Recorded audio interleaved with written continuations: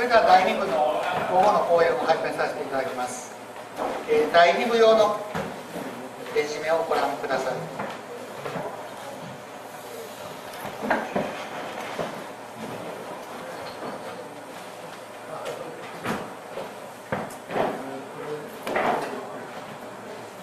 上の方のタイトルに午前の部の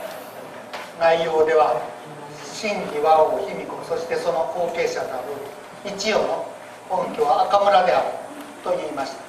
それで次の問題としてはではその卑弥呼そして一葉というのは古事記日本書紀で言うならばどの人に当たるのかということになります。これは大変あの複雑な問題です、えー、古事記日本書紀をじっくり本来ならばじっくり読まないと答えられないことです。でまた年年代の問題もあります。でその中ではいろんな漢文とかですね、えー、いろんなその漢字の問題。漢字は中国の文字ですから中国としての発音はどうであったのかあるいは日本としてはそれをどのように発音したのかなどといろいろと複雑な問題があります。ある意味日本語学としての領域に入らざるを得ないということですね、えー、例えば大野進とか橋本真吉など有名な国語学者日本語学者がいますがそういう人々の見解を紹介などしながら述べていくことになります。ですから普通の古代史の講演ではその言われないような内容です。しかし今の場合これどうしても言う必要がありますのでこのと日本語学の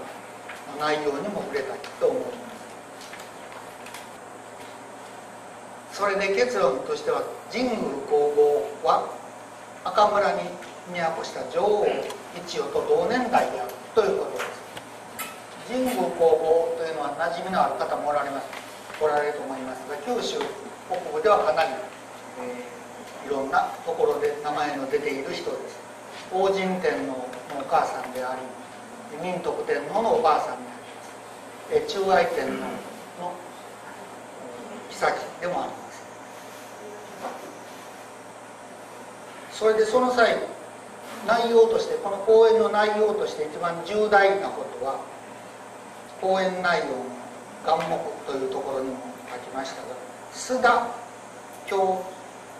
に48文字の名文がありますこの名文を読み解かなくてはなりません48文字少ないようですがなかなか難しい問題で、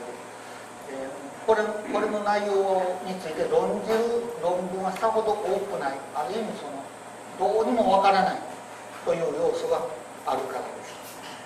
でもわからないってほっとくことはできませんのでこれについて述べるのが重要です。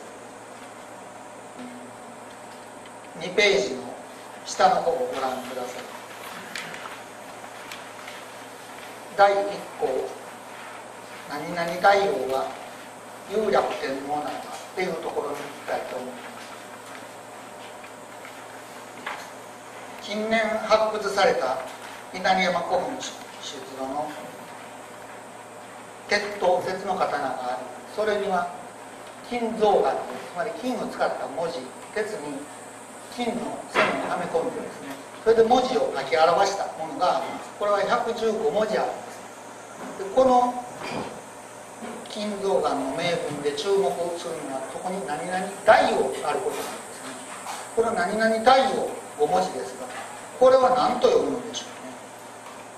うね。で普通教科書高校の教科書などではこれは「わ」「か」「た」「き」ではなく若田ける大王と読むのだよというように言われています、まあ、それが定説のようになっています。これで若田ける大王と普通読まれています。でそれでいいのかなというのがまず私の発想ですね。まず最初の1文字の文字ですけどこれ獲得の「獲」です。獲得の「獲」をどうして「和」と読むのかなとまず私は思いました。それで普通ならば古事記日本書紀そして万葉集にいろんな漢字が使われてこれはこう読むというのはかなり分かるんです2文字目の「か」これは「か」だと正直日本書紀で分かります、まあ、日本書で分かります。3文字目「た」も分かるんですが1文字目これは獲得の「獲」だがと思いましたそれで調べることにしましたが「古事記日本書紀」になければどうするのかというとこれは中国のいわば漢和辞典というよりも中国ですから、え中国の音韻辞典のようなものがあるんです。この漢字はこう読むんだよというような辞書が1000年ほど前にできていますので、えそれに頼ることになりますね。その辺のことを3ページから書いていますので3ページから見てください、え中国でその漢字の発音を書いた文字を印書と言います。印というのはその音韻の印でどう読むかっていうことです、それで役に立つのは1000年。余り前にできた隠居という書物上の方に、えー、123 4行目ぐらいに隠居とあります隠居という辞書が役に立ちます。また隠居はさほど多くの漢字を書いていないの。これになければ婚姻広い印ですね。音韻の印法印という辞書を読むことになります。それで幸い、えー、隠居の方にこの獲得の獲の字が書かれています。載せられています。これを見るとまあ分かりますね。隠居という印象は大変ありがたいもので研究者にとってはありがたいもの他の印象は皆羅列してあるんですねと羅列してあるものですが隠居だけは表形式になっています。いわば日本の五十音表あ行にはあいうえお家行には書きことこ作業にはさしすせそそのような表が漢字ですので、えー、43枚あります。43枚の一枚一枚に、えー、いくつもの何十もの漢字が表になって表されています。それで獲得の獲は隠居の36枚目に出てきます。36枚目見ていきますと以下さらさらと言ってきます、えー、獲得の獲は麦麦という字。麦米麦の麦という字と同じ列に並んでいます。で同じ列に並んでいるということは獲得の獲は麦と同じ。麦は麦とますね麦芽とか、えー、言います麦芽糖とか言います幕と同じだから大まかに言えば獲得の核は幕と同じだよ。とまず分かります。でそれだけかというと隠居はありがたいことにその文字の上の方に静音か濁音か書いとるんです。ねで獲得の獲の場合スーッと上を見ますと上には濁と書いてますから私たち獲得の獲と呼んでますがこれは中国の1000年前の発音では額なんですね。でさらに見ますとこの36枚目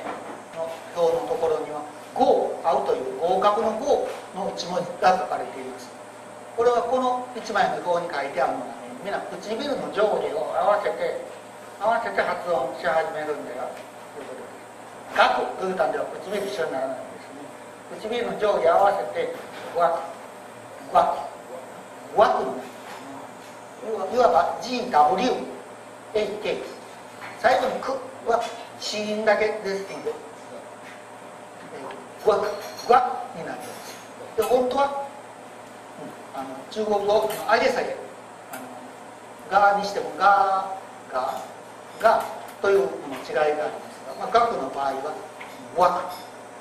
後ろに「く」がつく場合はこれはこのままですねじゃあ「グワ」と読めばいいじゃないかところが「古事記日本書紀万葉集」などを見ますと「ぐわ」というような発音はないのです。日本語のこの頃の上代語では「ぐわ」とか「きょ」とかそういう用音はありません。じゃあ「わ」とどう発音したのかと言いますとまた「古事記」などではその最初に濁音は来ないというルールが見て取れます。規則性があります。だから「ぐわ」だったら「わ」とは読まない。じゃあ「ぐ」か「う」かどっちかを言うが最初にある濁音を嫌って「わ」と読みます「わく」の「く」を軽く読むだけですからお「わかた」「わかたというところがわかたわかたわかたよって最初の3文字はわかた。と読めるのですということで、えー、隠居のおかげでわかたとまでは読めます。その他婚姻もこれはなかなか役立つ印象ですそれで問題はというかキー4文字目なんですけどもこれについては4ページから書いています。でこの稲荷山古墳のこの48文字について最初にいろんな説明をしたのは岸敏夫たちです。以下これを岸説とか呼びますね、えー、歴史学者で有名な岸敏夫です。で岸敏夫若田まで読んでその後4文字目なんですけどもで岸敏夫の言うにはですねこの4ページの上の方引用しておきました。が「若田けきるよ」と記してですね、えー、そして言うことにはこの「き」という字は音仮名とし音仮名の字語としてはこれは法類の「き」を表しこれを「け」と呼んだ要例はない。常にこれは「木」と呼ばれている古事記見ても日本書に見ても万葉集見ても全部この詩典の詩詩曲の詩詩語の詩これは常に日本の上代の言葉では「木」と呼ばれているとまず言います。その通りで確認しますとというかもその通りです。で私はこの4文字目を「木」と読むのです。同じようですが同じようなことで、えー、騎士はこの5文字目の方もこれは「ろ」だよと言います同じように私はそれは賛成ということでえ私はこの5文字「若たきる」と読みます他の方は皆「若たける」と読みます。私は「若たきろ」と言います別に私が間違って言ってるわけじゃなくて私の考えではこれは「若たきろ」と読むべきだろうと考えるからそのように私は発音しています、まあ、騎士も言いますようにこの視点の詩は「き」としか読まないんです。でも騎士はこれは経だね。なんでそうなんですかというとこの4ページの上から9行目の左に漢字1文字がありますから「はいかっこいいかっこいいか」4ページの9行目ですね「示す辺に大座と」と書いてこれは何と読むんでしょう。これはほとんどの場合「け」と読みます。これ見たらほとんど「け」です。ただ日本書紀の携帯店のところにただ1回だけですねこの「経営と読みたい字を「き」と読んでる例があります。でこれをもって岸敏夫はこの「経はね「き」と読むことがあるのさだから若田木のこの視点のシーンもま似たようなことでこれは「経と読むんだとこういうのですね。で結果的に若竹ルーに持っていくわけです。でもそれはちょっとおかしいんじゃないかと私は思うんですね。これはあの中国の漢字として。まず日本語としてはほとんどこれは「キー」ですので一応あ失礼このこの字示せへんに「大座」とこれはほとんど「経ですのでこれを見たらこれを参考にするならですねこの「経」は「経」だし「キー」はもう全部例外なく「キー」だから分かった「キー」と読むしかないだろうと思うんですけど。それにその漢字としては視点の「詩」とこの「示せへん講座とは全く別の音韻に属するんですねその講音という辞書がありましてそれは同じ発音に属するよ最初の子音だけは違うけどその他は全部一緒だよそういうグループに分けて表示していますそれが講音のやり方です講音は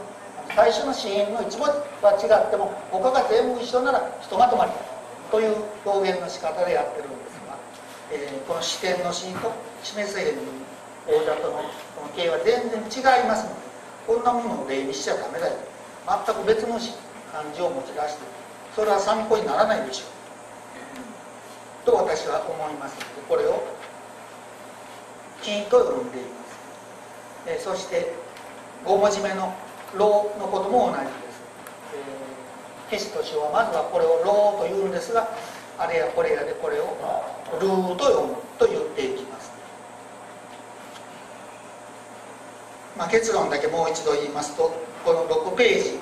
の真ん中ほどで書きましたが、まあ、以上のことから若竹ルーと呼ばれてきたこの5文字、えー、文字として漢字として見ればですね若竹色読むのが正しいで小さく「こう」とかなんか書いてますが当時漢字は2種類に分けるものがあります。木には木の甲と金骨がありますのでそのうちの甲の方ですよ。ということです。老の方も老骨と老甲があるそのうち老甲が正しいと私は思います。ということです。もうこの辺は日本語学としては例えば文学部出たよ国文化出たよという人ならそんなことは大学でなとい。う方ももちろんいらっしゃると思うんですが普通は言わないんですさてそれで若竹色と私が言うと岸敏夫が若竹色というでもどっちでもいいんじゃないかなと思う人も多いと思います、まあ、ある意味どっちでもいいんです。ただ口で言う時に一応言っとかないと思いました。で大事なのはなぜ岸敏夫がこれを若竹ると読みたがるかと言いますと若竹るというのはこれは有略天皇の名前なんです。有略天皇の名前ですので若竹る太陽といえばこれは有略天皇だと直ちに言えるわけです。それで岸敏夫はそう言いたいがために漢字としては本当は読めないけどまあいいやということで若竹と読みましたでもってその単に読み方を若竹とするだけじゃなくてこの稲荷山古墳の名文の若田黄色を若竹と読みこれを有楽天皇とするのが一応定説となっておりますね。少なくともこれを人物名だとする人は全てこれを有楽天皇としています。しかしそれはおかしいでしょうと私は言います。単に私は読み方にこだわってるのではない。ですそのことを7ページの下半分ぐらいのところから書き始めます。ここある意味ここからがちょっと日本語学をちょいと離れ、えー、古代史学の話になります。7ページの下の方の大きな学校 2, 2のとこですね。名前の付け方名前のことですが名前にはねいろいろあるんですよ、えー、古代東アジアとりわけ中国なんですが名前には実は3種類があります、えー、意味の中でもここで言いたいのは意味名というものですね、えー、普通はそのまず姓がある姓がある。そして意味名がある。そしてあざなと3種類があります。そのことについて7ページの下の方で言いますとうんと下から4行目ぐらいです。三国志には西暦216年に義王になった人物いわゆる曹操ですね。曹操について三国志のところを見ますとこれは姓は曹。意味名は曹。あざ名はモートと3つちゃんと書いてあります。これが正式な表現です。でまた曹操のライバルであってその下の行221年に職官の皇帝になった人ですがこれは姓は龍。意味名は美。あざ名は玄と。とこのように三国志は書いています。これが正式な言い方ですね。さてこういうわけは実は意味名についてはある種の礼法があるんです。厳しい礼儀作法があるんです。それは現代日本ではあまり知られてないんですけどあの古代の歴史を見る時には大変大事な内容です。8ページに行きましょう。どんなことかというとその家来はご主君の意味名を言ってはなりません。曹操曹玄徳なならば失礼曹猛徳ならばこれ曹操の曹な曹さんいうわけにはいかないんですね、えー、劉備玄徳に対して B さん B さんというの。これ非常非常に失礼。家来がそんなこと言うのは非常に失礼も直ちにそれもう死刑直ちに死刑になりますね。そういう場合。またあの中国の言い方ではもしも子供が親の意味名を言われたらすぐその言うた人に切りかかれたというほど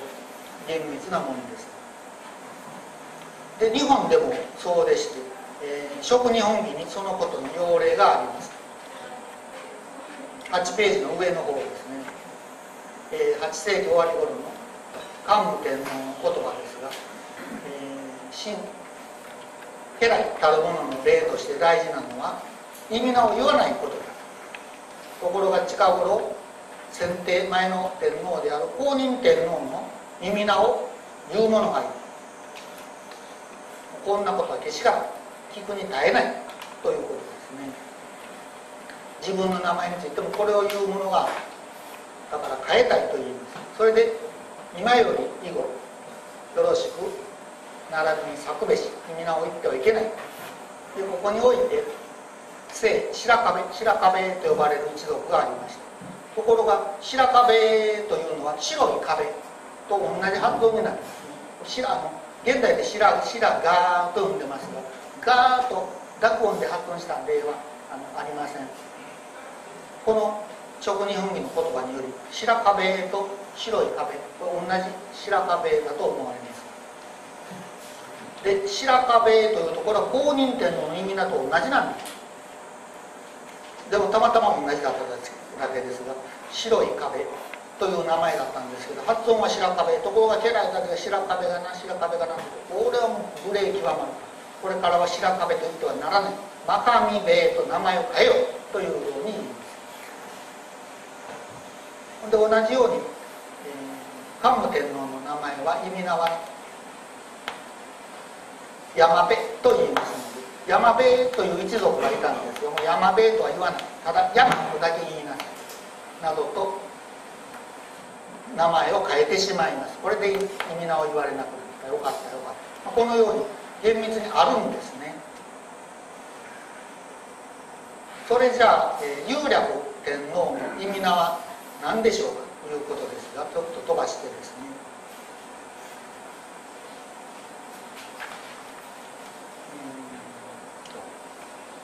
この同じページの下の方ですがある時有略天皇が、えー、奈良盆地の西の方にある葛城山に登りましたところ反対方向から有楽天皇と同じような行列でやってくるものがある。その相手それは一言主ですが、えー、で一言主が有楽天皇に聞きます。あなたの意味名は何ですか？そうしたら有楽天皇は私の意味名は若竹の御事である。若竹の御事である。幼い幼稚園の幼という字と武力の美尊敬の尊。と日本書紀は書いていますが養護尊。若竹の御事である。と答えました。でこれによって現代その日本書紀古事記など読む人皆有楽天皇後発者の若竹と呼んでいますね。さてそそれがもう大問題でこの日本書紀の記事によって有楽天皇の君名は若竹それでは家来たちは言ってはならないよ。ところがこの稲荷山古墳出土の鉄拳には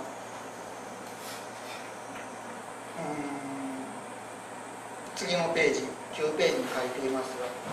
えー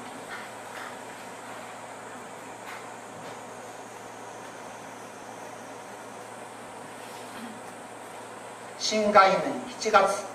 中記す「おわけのおみ」ということですね。で「おわけのおみは」えー、若竹大王が四季の宮にいる時に私は天下を治めるのを助けそしてこの鋭い刀を作ったんだということを書いています。明らかにこの刀を作った大わけの恩はその大王を助けて政治をしたというのですから若竹の大王の家来です。ところがその家来たつ家来たる小分けの海が若竹大王とこの刀に書いとるんですね。若竹大王が四季の宮にいる時それは意味名じゃないんですか真語るものは意味名を書いちゃいけないでしょう。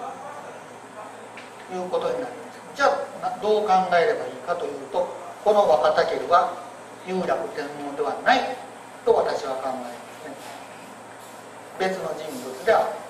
別の人物若滝郎であるというように考えます。若竹郎という名前はいろいろありまして古事記見てましても有楽天皇以外に君の若竹郎も出てきますし大和武の子供に若竹というのも出てきます。多々あるわけではないですが3つは出てきますね、えー、そのうちの有楽天皇だと決めつけてはいけない。あるいは他の元第三者第四者であったかもしれない。で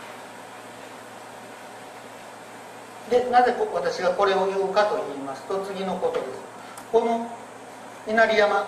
古墳出土鉄剣には新概念7月中止です。これは普通471年、まあ、60年に一度新概の年があるんですが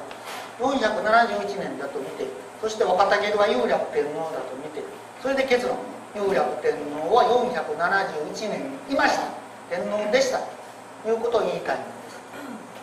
です。で私はいやこれは若竹はむしろ有楽天皇ではないと考えるべきだで結論は有楽天皇は471年に存在したとは言えないよ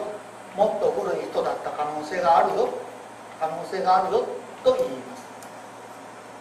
はい、あの古代史研究者の間では若竹といえばこれは有楽天皇よって有楽天皇は471年いたというのが常識になってますので、えー、皆岸敏夫の説を信じてますのでそうなってますがそうは言えない。それは怪しいと考えます。で続いて、えー、10ページの下の方第2項に行きたいと思いま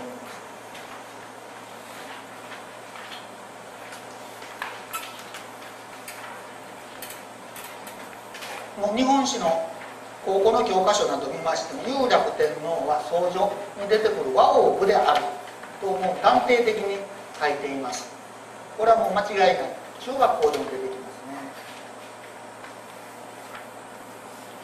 でもそれはいいのかなということです。というのは赤村に和王卑弥呼がいた。和王一葉がいた。でやがて和王三というものが出てきてこれが中国に上皇しています。義が滅びて秦の時になりましたら和王三が出てくる。これ和王ですから当然一音後継ぎであって九州の人だろう貧富とは関係ないじゃないか。でその三の子孫が和王風ですからこれまた九州の人だろう。和王は皆その若竹であって有楽天皇だと言いますけど有楽天皇じゃなくて卑弥呼一応が九州の人なら和王三も和王五も皆皆九州の人とすべきじゃない。かそこなこともそう。これは和王は有楽天皇だまでもう決めつけてこれが正しいというのはちょっとおかしいんじゃないか全然別の人だという可能性があるんじゃないかということです。繰り返すがこれまで有楽天皇は478年にいたもう定説のごとくにされててそれを起点にしてで有楽天皇の祖先の神武皇后はとか有楽天皇祖先の慶光天皇はいついつ頃の人と言い始め。そこがちょっと危ないんではないですかと私はまず言うんです、えー、12ページの下の方にも確認して書きましたら括弧読むここで有楽天皇は478年に在位していたという保証はないということですね。それの根拠をもう一つ言いましょう。今は卑弥呼一葉との関係で言いました。が別の面から言いましょう、えー、名前の読み方にはその意味名っていうものがあると言いましたね。家来は主君の意味名を言ってはなりません。また逆にですね主君は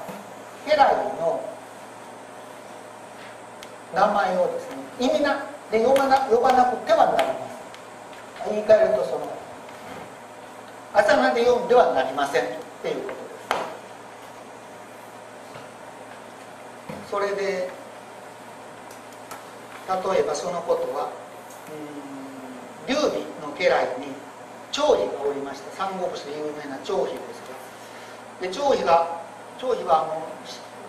下級武士たちを盛んにバカにするどころかもうどんどん死刑にしちゃうちょっと分立に違反したということで死刑にする。あるいはもう側近として大事にしておった人でもこれも暴力をというようなことでちょっと嫌われておりまして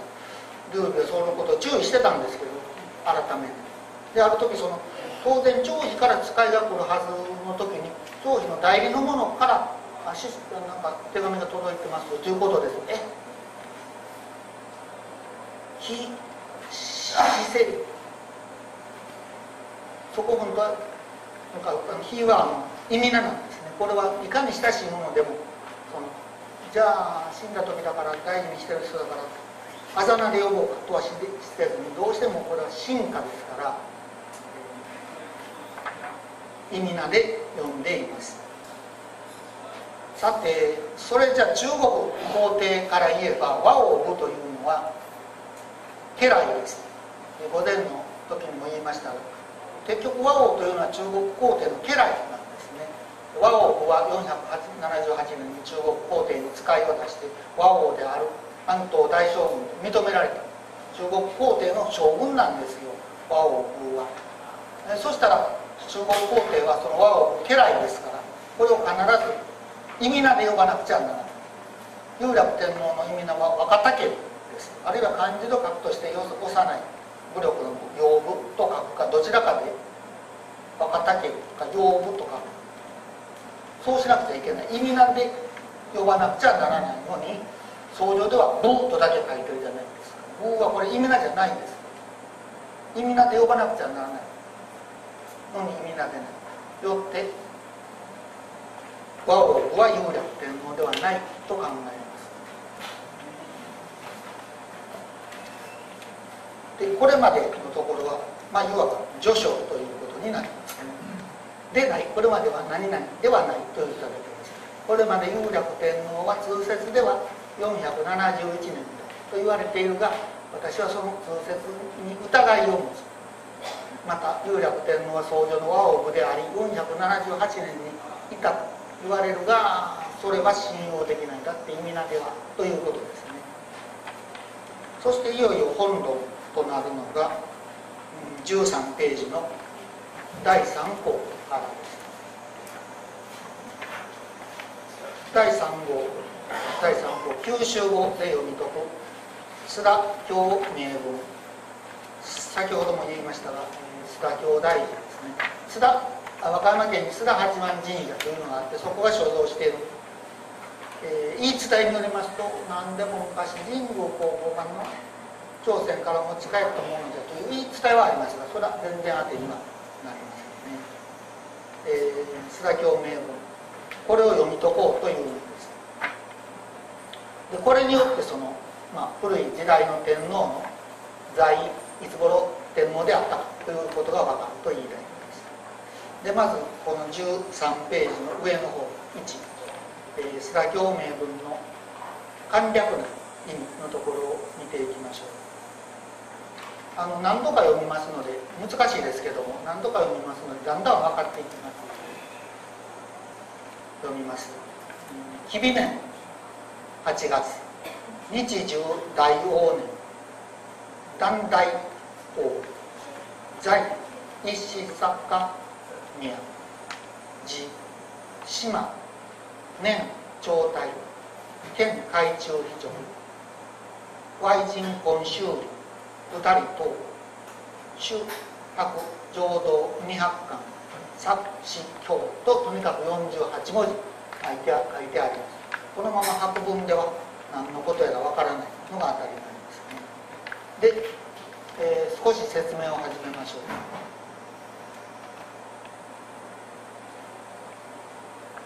最初に吉備年とありますが吉備年という年は60年に一度あります、えー、例えば503年は吉備年です。でこれに60を何度か足したり引いたりした年は全て吉備年です。563年も吉備年623年も吉備年683年も吉備年でこの鏡で言ってる吉備年が何年かであるかはこれから考えていくことです。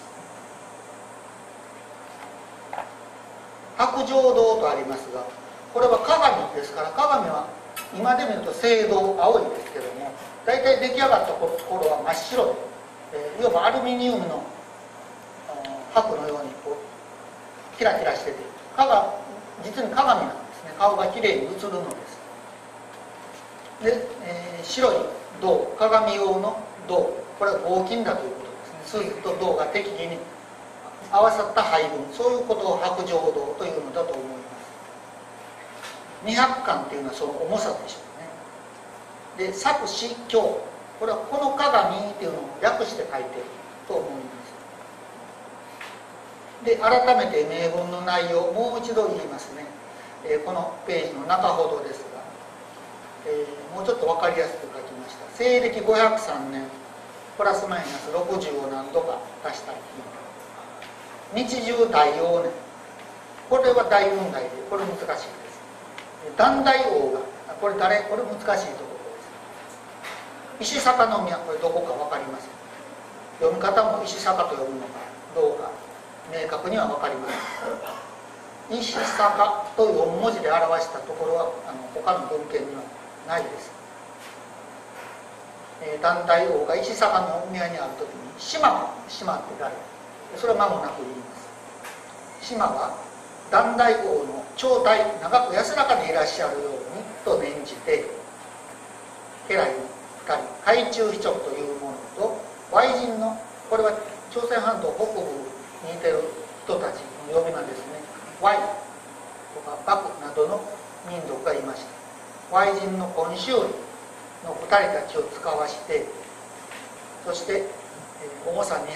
貫の白状を取ってこの鏡を作らせる。わざわざ日本まで来させて日本でこの銅を溶かして鋳型に入れてこの文字を記した鏡を作れよ。なかなか複雑ですね。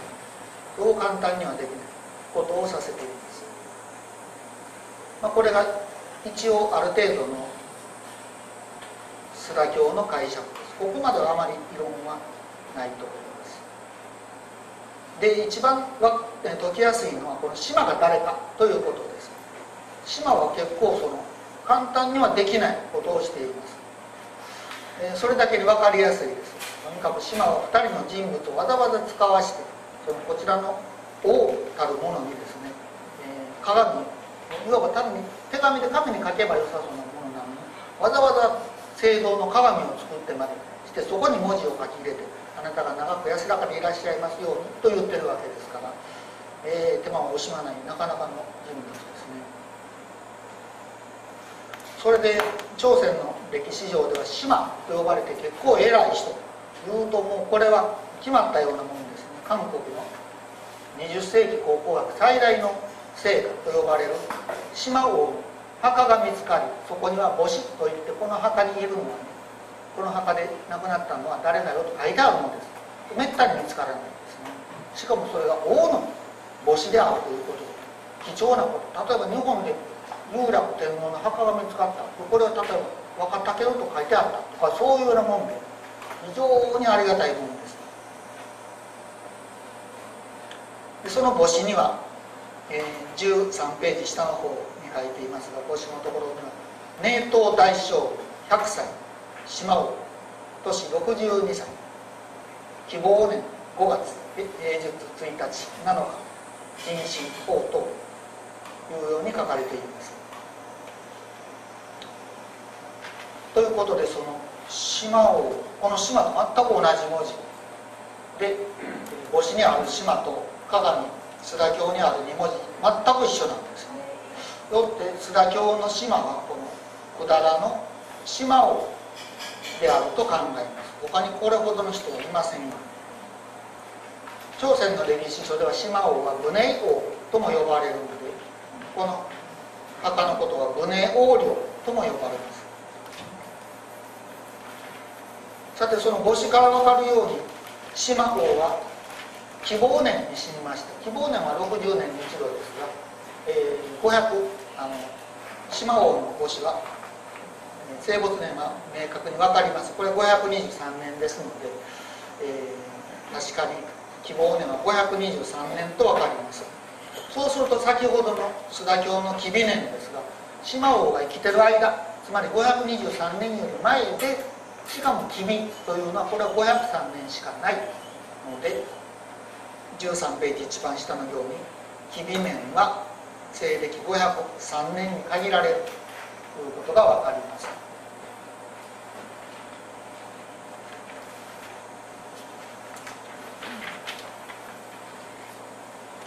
それでは、えー、次の14ページに進みたいと思います、えー、今言った内容ですが希望年というのは523年に、えー、62歳で亡くなった。島王の存命中の紀美年は503年しかないということですね。さてそれじゃその頃の日本の天皇は誰かと言いますとこれは日本書紀を見れば日本書紀はもう一年一年を追ってもう順番通りに正しく書いていますので天皇の青年没年は分かりますただし嘘か本当かは分からない正しいかどうかは分からない。けどとにかく分かるようにはなっています。一年一年ぴったり分かります。で日本書紀のその年代によると携帯天皇が確たることはちょっと控えますが507年から521年を含むことはまず間違いない。これを含まないという学者はいません、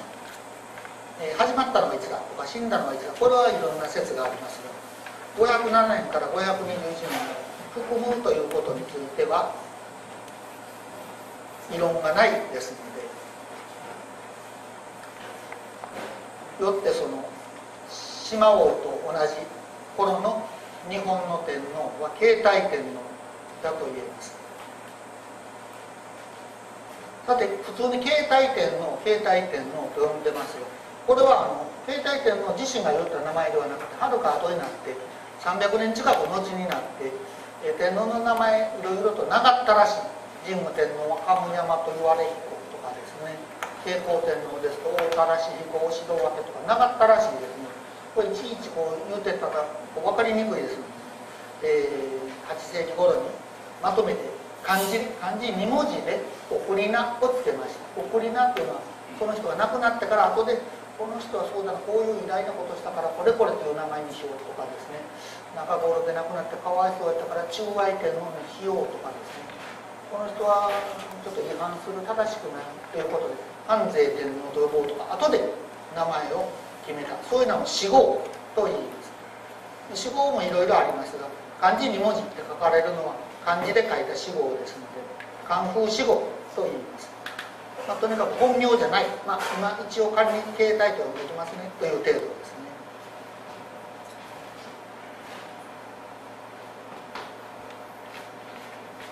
さてそうすると島と同じ頃の天皇は携帯天皇なら先ほどの鏡須田教でその島が団体王というのは携帯天皇ではないのかとままずは考えなくちゃならないですね。和王武後とそれは有楽天皇ではないかと、まあ、考えました人々同じように大体これ島王がいた頃といえば携帯天皇であるそれじゃ団体王は携帯天皇ではないのかと一応考えても良さそうなもので。すしかしあまりそうはされないんですね。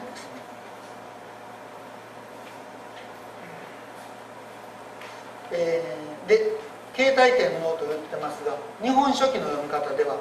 あのいわば携帯天皇の本名が書かれています。それはこの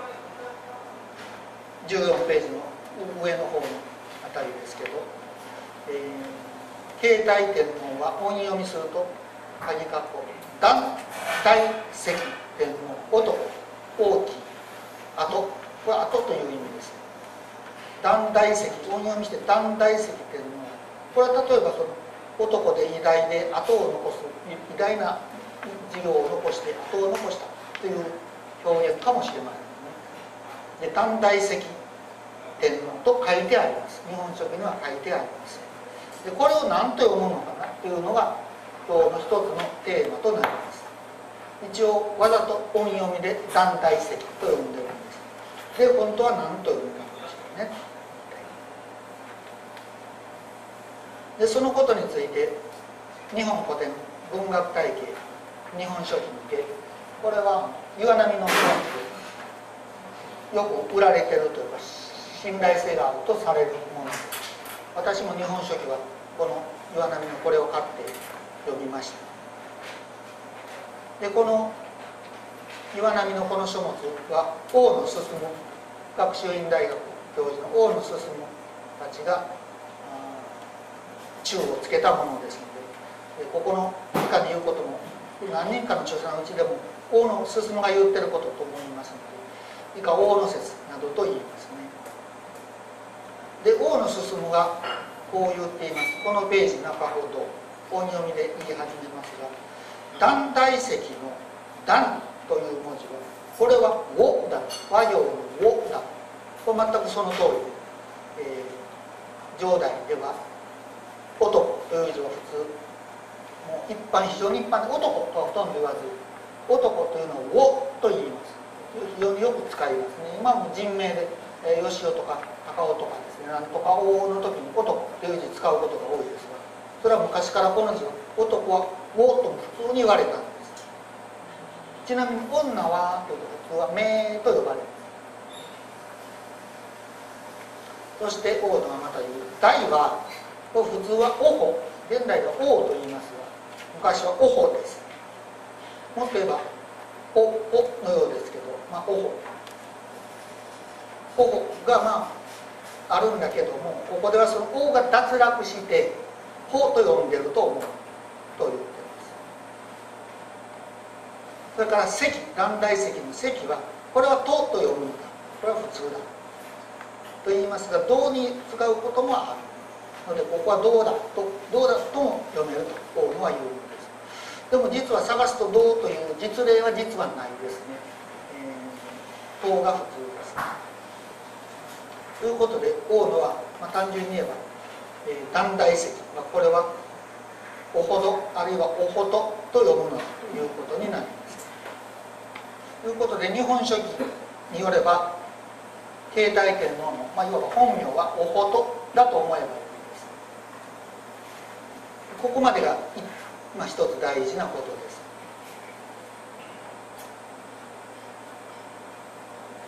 で大野はこう言うたんですがそこの2文字目なんですね。団体石の2文字目「大きい」という字ですけど大野はこれは「王」と読むんだがその「王」を略して「お」と読むと言いましたがそこを私は「本当かな」とまた言います。そういう例もそれはあるだろうけども別の読み方があるんじゃないかというんですね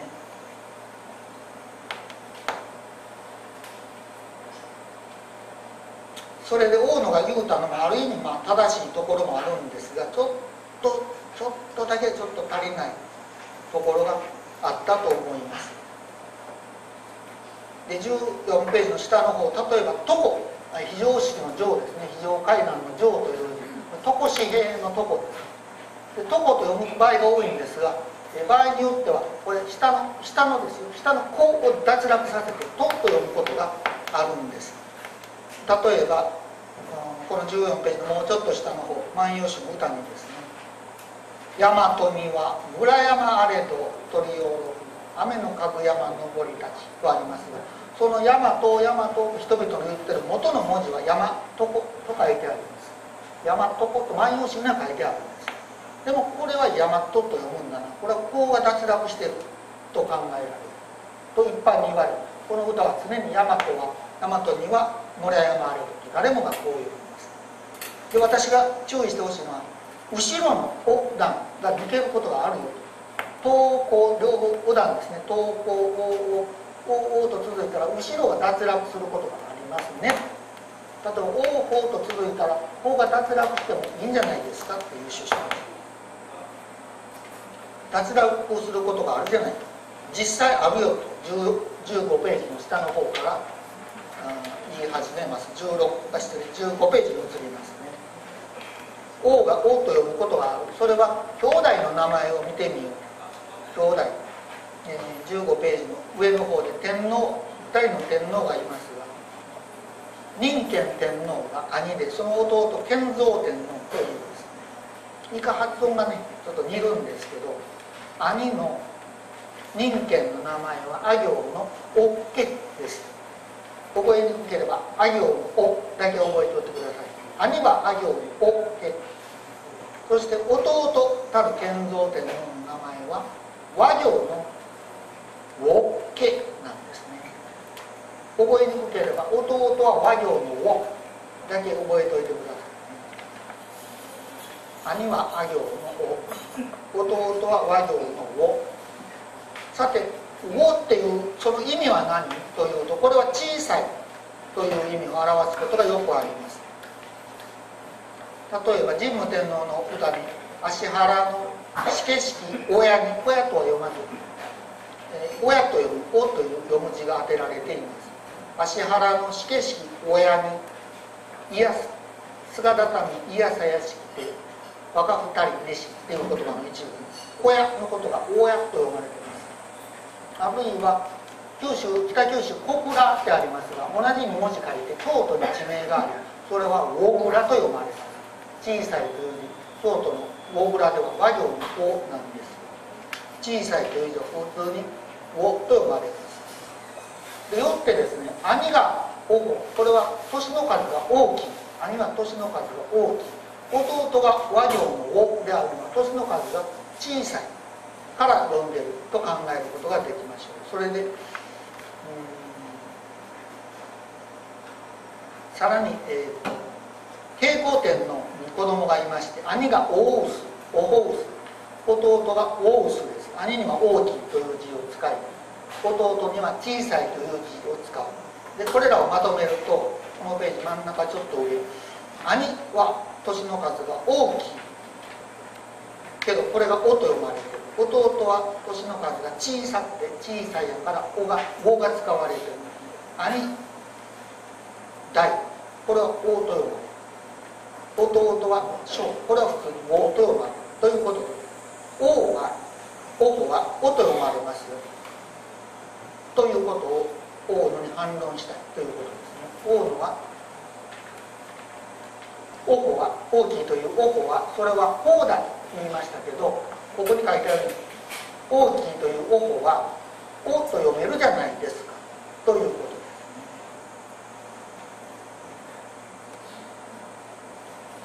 とところが大野はもちろんさらにあのさらにもちろん言います仮にそうであったとしても大野自身は「ウォッホット」と読みました断代石携帯天皇の名を「ウォッホット」と読みました大野はこれはこれでいいのだと言います、まあ、それはそれでもいいのです。でもし私が今言ったように2つ目の文字大きいの「お」を「お」と読んだら「ウォッホット」になりますね。ここで「お」の後にすぐ「あいうえ」の「お」が来た場合日本語では普通後ろの「お」は大概脱落します。大概脱落するんですね。例えば「おので気を切る」「おの音」って言いたいところですけど万葉集には「おの音」とは言わず「おのと」と書かれています。後ろの「お」は脱落するんです。ですから「お」は「お」はそれは「ほう」と読まないと。もし「お」と読んだらそれは携帯店の名前が「お」「お」とそれは必ずあのあ行のが脱落するから「ウォト」になったわけよなんでその3文字も使って「ウォト」と書くはずなかろう。これは「大音」だ。というのです。そんなことで「王」のいうところでは「王」ともまあ読めるけどもあ行の「王」は和行の「王」に続いたらきっと脱落するからそれはダメだと言ってるんですね。でそのことを次のページ16ページの上の方で書きました。大事なのでもう一回読みましょうえっと16ページの一番上のところ近畿語東方もちろん上代のですね8世紀の大和の音とか、えー、静岡県あたりの発音の仕方では音節の後ろにあ行の音が来たら必ず後ろがまあ、原則として必ず後ろのとか発音されないんだ。脱落するんだということですね。松浦なら松浦と呼ばれてね松浦と万葉集では万葉集では呼んでいます。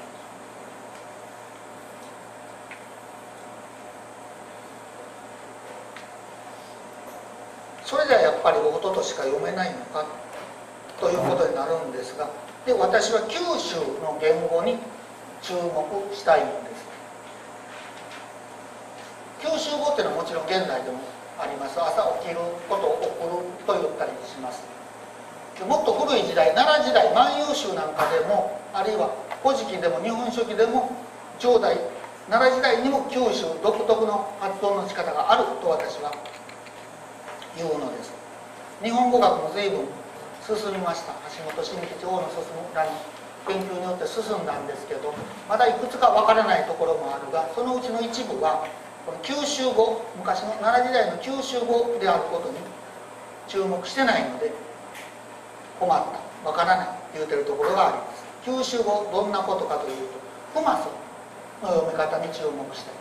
皆さんもクマソクマソとよく知ってると思います。古事記日本書紀ではクマソと言いますところがご当地の九州まあその本拠九州ではどう呼んでる九州の不土器豊前の国不土器とかですね、えー、肥前の国不土器見ますとクマソとは言わない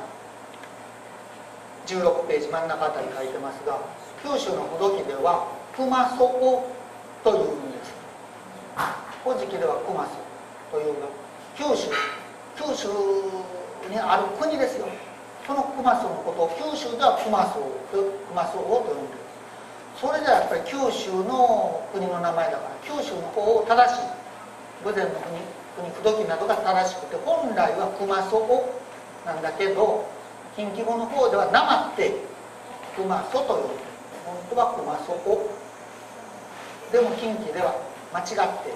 なまって変に熊荘と呼んでる当時の熊荘の人から言えば近畿は変な言い方するのは我々の熊荘を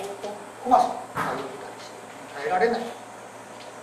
ということになりましょうで熊荘の場合五段にあいうえおの「お」が続いてるがその「お」は脱落しないんです。それで私はその携帯天皇の名前とかをですね違ったように読めるんじゃないですかっていうことですね。でさっき言ったこととダブってもう一度まとめますと経体圏の日本書紀の名前は断大石ですが断を「お」と読む断大の大王法金という字を「お」と読んでみる。そして読み続ける「お」「お」とそれじゃ短くそれじゃ短く「お」とになるといやいやこれは九州語で読むんですよ。経体天皇の名前断大石を「お」「お」とこれ九州の人なら「お」「お」とと読みますよ「お」とにはなりませんよ。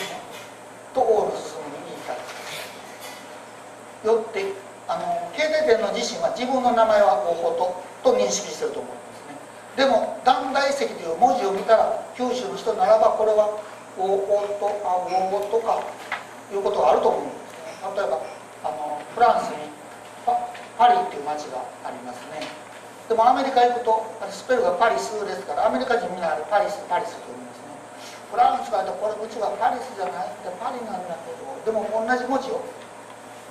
アメリカではパリと言いますね東京もねアメリカ行ったら東京東京ですし、まあ、あの文字に変えてしまうと別の読み方になっちゃう。ということですね。さてそうするとそうするとその元へ戻って津田八幡の鏡ですがこれに「断大王」とありました。これの読みを言いたいと思います。男弟です。男は「王」ですね。そして弟の音は昔音と言います。ちょうどあの妹のことも妹と言います。現代の弟妹を昔は音妹と言いました。よって須田教の断大王の男弟はお音ですね。また繰り返すが携帯天皇は断大石だけど九州ならおおとそして須田教の団体も九州ならばこれは「お」「お」と全く同一の3文字になりますよって私はこの携帯天皇の名前と須田教の団体この名前を両方とも九州語で読めば同一人物になりそれは携帯天皇を表すというのです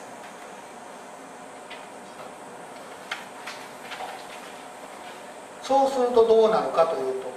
えー、須田教は503年に団大王がつまり携帯天皇が石坂宮宮にいる時に100歳の島は携帯天皇が長く安らかにいるようにと念じてこの鏡を作りましたと言ってることになり別に時代的には合います。ということでここまでのところではとりあえず、えー、須田教の団大男弟と携帯天皇の名前は一致して九州語では「お」「お」とと読まれるよというところで一点休憩に入りたいと思います。10分後にまた続きをしたいと思います。